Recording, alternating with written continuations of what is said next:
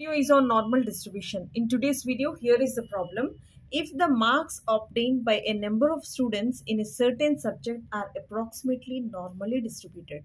See here, we have to choose normal distribution with mean 65 and standard deviation 5.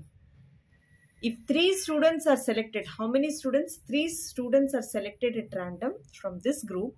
What is the probability that at least one of them would have scored above 75? See here, the question is so simple. What is it it is given? So we have to choose normal distribution and mean is given as 65 and standard deviation as 5. And if three students are selected at random from this group, what is the probability that at least one of them would have scored above 75? See here, as usual, let uh, mu be the mean and sigma be the standard deviation. Here, the mean is given as 65. See here, mean is given as 65 and standard deviation as 5. And now we have to calculate the probability that at least one of them would have scored above 75. First, I am going to take x is equal to 75. When x is equal to 75, see here what will be the z value. So, z is equal to x minus mu by sigma. See here x value is equal to this is 75. Mu is equal to this is 65 by 5. And therefore, the value here will be so if you observe this one, the value here will be 10 by 2.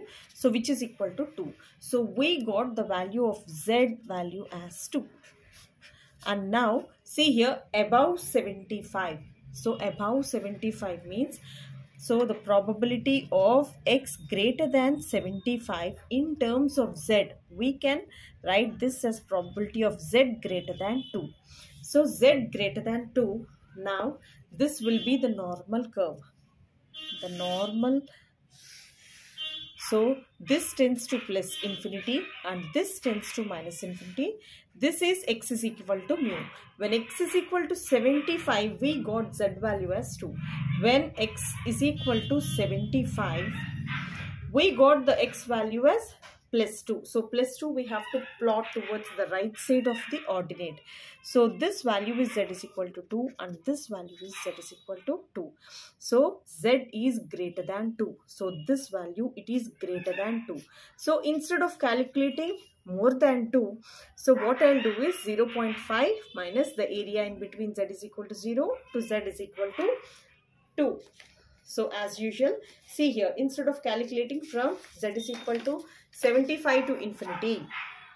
So I'll calculate. So z greater than 2, it is nothing but uh, 0 0.5 minus the probability of uh, 0 less than z less than 2 or 0 0.5 minus area of uh, 2. 2 means nothing but 2.0 under 0 that is 0 0.4772 that is 0 0.4772 so this value is 0 0.5 minus 0 0.0772 so which is nothing but 0 0.0228 so now we got this area. Hence the required probability that out of three students now see here here when P is given as 0.0228 and what will be the Q value. So next to see here, hence the required. So we need the required probability. We need the required probability that out of three students, out of three students, at least see here at least minimum one at least one of them will have marks will have marks more than 75 is given by see here now we have to take this value that is uh, the value that is 3c1 so this will be P power 1 and this is Q square. And next 3C2, this is P square. This is Q power 3 minus 2. And next 3C3, this is p cube q bar this is 3 minus 3 see here at least 1 so p must be 1 here so nc1 p power uh, 1 q power n minus r. That is 3 minus 1 2 3c2 p square. So minimum 1 so maximum till 3 so this is the binomial combination. See here. So this value will be 3 into p power 1 q square. 3c2 3 into see here 3 into 2 by 1 into 2 into p square into q power 1 3c3 so this will be 1 into p cube into q power 0 and see if I substitute this one what will be the p value?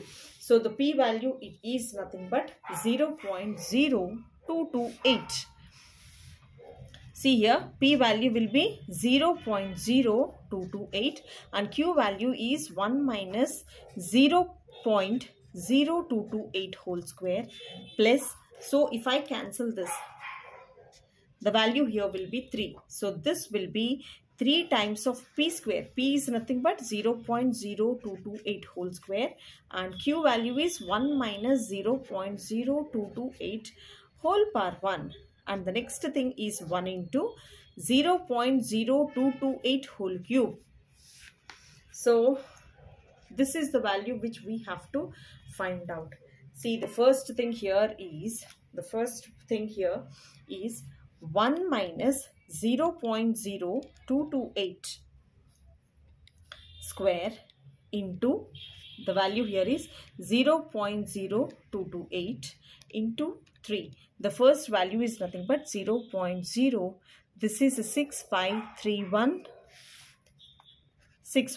And the next value here is, the value here is 1 minus 0 0.0228 into, this is 0 0.0228 square into 3. So this is into 3. The value here will be See, this is nothing but 0 0.0015239629 and the next one here is 0 0.0228 whole cube. The value here is 0 0.000 that is 11852352. This plus 0 0.001523 9 this is 6 to 9 plus this value is 0 0.0653165 uh, the value here is the value here is 0 0.0668523 2316 so this is the required answer. So this is how we have to find out. And see here approximately this value is nothing but this value is nothing but 0 0.0668 is the required answer. See here so these are the three values. After addition, we got this value and this is how we have to solve. See here, hence the required probability that out of three students, see n value is equal to 3 here n is equal to 3. That is, here we have to take p plus q is equal to n. The value here is 3. So the minimum value, so at least 1. So we have to go with 1. That is 3c1 p power 1 q square and 3c2 p square q power 3 minus 2 and this is 3c3. So this is according to the binomial distribution. So we have distributed from 1 as uh, we need the values that is minimum 1 value out of 3. So so this is how Q is nothing but P minus Q. So what is Q value? Q is equal to 1 minus P. So 1 minus P. So this is the final answer. Thank you so much for watching. If you don't understand this video, go through this video for one more time. Definitely you can understand. Please pass it on to your friends if you really like this video.